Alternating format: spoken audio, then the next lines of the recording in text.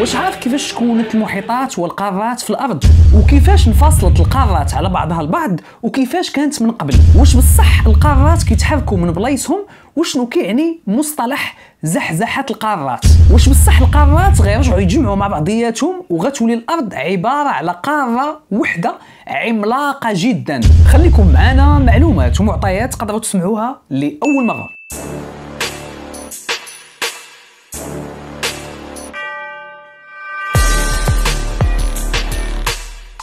مرحبا بكم معنا في حلقة جديدة من حلقات هاشتاغ سامع معكم سفيان سامع باش نعرفوا الأرض كيفاش غادا تولي من هنا لقدام أرض وحدة وقارة وحدة عملاقة وكبيرة بزاف.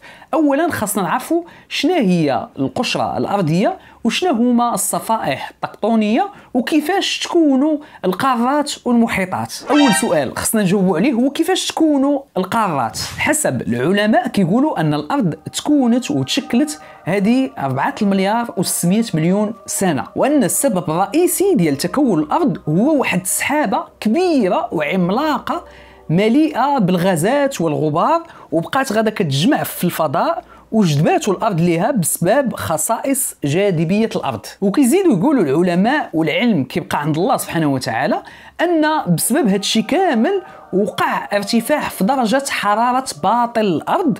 ومن وقع ارتفاع في درجة حرارة باطن الأرض وحرارة قوية بزاف اللي ما تطيحش لك على البال انصهرت الصخور الأرضية. والصخور اللي قليلة الكثافة طلعت الفوق وبقات غادا كتبرد تدريجيا حتى شكلت واحد الكتلة صخرية كبيرة بزاف واللي هي كتسمى بالقشرة الأرضية اللي كنا قرينا عليها في النشاط العلمي وفي الإعدادي وفي الثانوي أيضا. أما الصخور اللي فيها كثافة عالية فهي انغمست وبقات في باطن الأرض في اتجاه مركز الأرض حسب قول دائما العلماء. وهنا تشكلت ثلاثة ديال الطبقات رئيسية للأرض وهي طبقة القشرة الأرضية اللي قلنا طلعت الفوق وطبقة وشاح الأرض وطبقة لب الأرض. ودابا ننتقل معكم إلى نقطة مهمة جدا.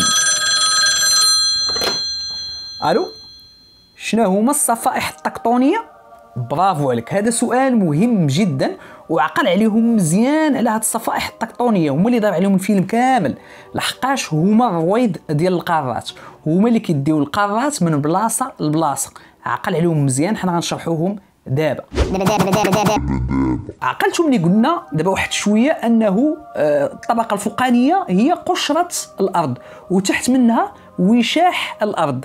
وما بين هاد جوج طبقات في الجزء العلوي ديال طبقة الوشاح والجزء السفلي من طبقة قشرة الأرض كاينة واحد الطبقة صلبة جدا كتنقسم لأجزاء كبيرة كتسمى بالصفائح التكتونية وهي المسؤولة على زحزحة القارات وتحرك القارات وهنا كيتطرح واحد السؤال مهم جدا. كيفاش هاد الصفائح التكتونية كتحرك القارات من بلاصة لبلاصة؟ من بحثنا لقينا العلماء كيقولوا نتوما قولوا الله أعلم والتقليد يبقى عليهم أنه ملي كترتفع درجات الحرارة ديال باطن الأرض الصفائح التكتونيه كتنزلق على بعضياتها. وملي كتزلق هاد الصفائح التكتونيه على بعضياتها؟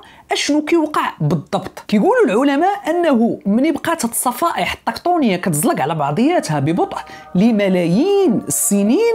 أشنو وقع؟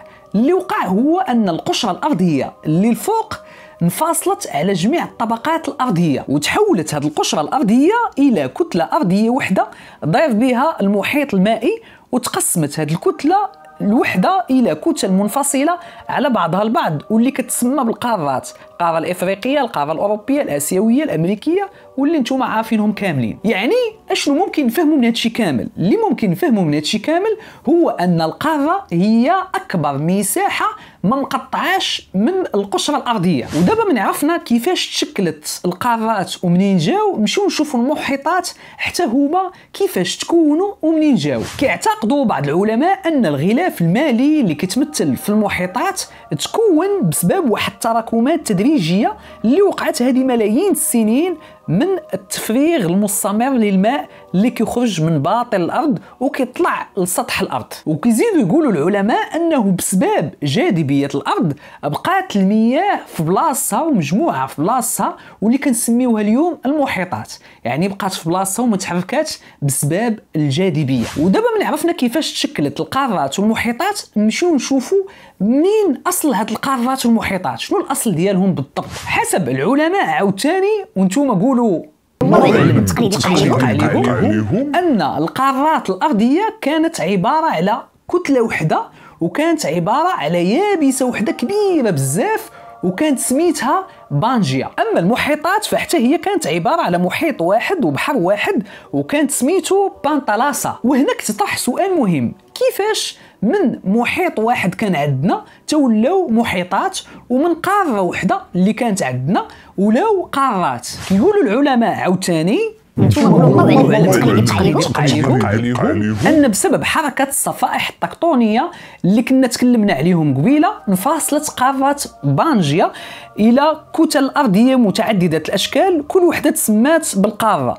وتسمى هذا الانفصال بالانجراف القاري واللي تسبب في فصل القارة الوحيدة وبسببها ولاو عدد من المحيطات وهذه القضية تسمات بنظرية زحزحة القارات. وهنا عاوتاني كيطرحوا مجموعة من الأسئلة اللي مهمة جدا. شنو الدليل ديال هاد العلماء هادو اللي بسطوا لنا راسنا وقال لك ودي أن القا أن الأرض كانت قارة وحدة وكانت يابسة وحدة وانقسمت القارات. شنو الدليل ديالكم؟ وشنو هي هاد نظرية زحزحة القارات؟ وشكون اللي جابها نهار الأول؟ وشنو آه الدليل اللي كيأكد أن نظرية زحزحة القارات صحيحة؟ وماشي كذوب عطيونا سيدي شي دليل مقنع. فمن بحثنا لقينا أن أول عالم في التاريخ اللي جاب هاد السمية ديال نظرية القارات هو العالم الألماني ألفريد فيجنر سنة 1912 واللي اعتمد على ثلاثة الأدلة واللي هما على الشكل التالي. الدليل الأول هو البرهان الميثولوجي اللي هو الشكل الهندسي لسواحل قارة إفريقيا اللي كتطل أو من جهة المغرب واللي كتطل على المحيط الأطلسي واللي قارنوها بسواحل قارة أمريكا الجنوبية. لقاو أن إلا جمعوهم بجوج غادي يجيو منطابقين 100% بحال كانوا قطعة واحدة وتقطعوا على جوج. الدليل الثاني هو البرهان المستحاتي من يلقاو واحد المستحثات ديال كائنات حية برية بحال ميزوزور كاينين المستحثات ديالها في غرب أفريقيا وكاينين حتى في شرق أمريكا الجنوبية. مع العلم أن هذا الحيوان هذا ما يقدرش يعوم وما يقدرش يقطع المحيط كامل من قارة إلى قارة. يعني أن هذا الحيوان هذا كان عايش على كتلة قارة وحدة اللي هي كتجمع ما بين قارة أفريقيا وقارة أمريكا الجنوبية. الدليل الثالث هو البرهان الجيولوجي لأن العلماء لقاو خريطة الجيولوجية لقارة إفريقيا متشابهة ومتناسقة تماما مع الخريطة الجيولوجية لقارة أمريكا الجنوبية ومتشابهين ومكتملين وكيكملوا بعضياتهم البعض. ونفس الصخور القديمة كاينة في القارات بجوج وهذا دليل آخر على أن القارتين بجوج كانوا قارة واحدة وتقريبا جاوبنا على جميع الأسئلة إلا سؤال واحد جد مهم باقي ما جاوبناش عليه. ويلي نسيتوه واش بصح الأرض غادا تصبح قارة واحدة وهاد القارات اللي انفصلوا على بعضياتهم هذه ملايين السنين عاوتاني غيرجعوا يتجمعوا وغيوليو في أرض وحدة وغنوليو عايشين في قارة وحدة اللي متصلة مع بعضياتها. وكيقولوا العلماء عاوتاني نتوما نقولوا الله اعلم التقليد يبقى عليهم أن قارة بانجيا غترجع من جديد وغيرجعوا القارات يتجمعوا من جديد في قارة وحدة واللي غتكون قارة عملاقة وكبيرة بزاف.